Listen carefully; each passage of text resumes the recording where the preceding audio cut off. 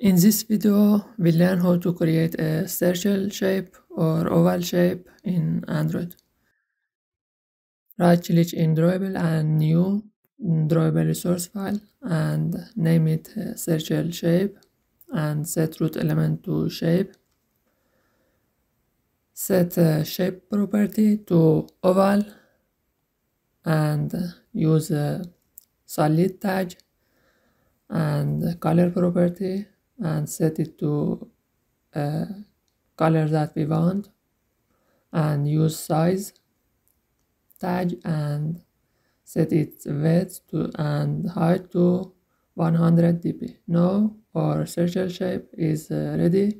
We can use it in our uh, layout file. We have an image view and we can set its background to our circle shape Now run the app and this is our circle shape. Thank you for watching.